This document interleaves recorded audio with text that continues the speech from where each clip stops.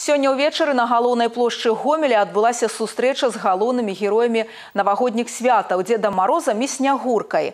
У праграме першага святочнага вечара забавы і конкурсы, гульні і карагоды вакол навагодняй ёлкі. Настроение прекрасное, новогоднее. Пришли сюда очень радостное событие. Приехал Дед Мороз.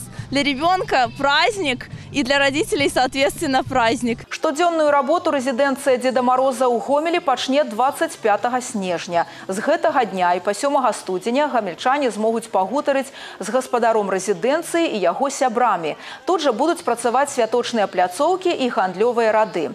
Сёлета на цэнтральнай плошчы Гомеля ўпершыню усталявана піксельная навагодняя ёлка.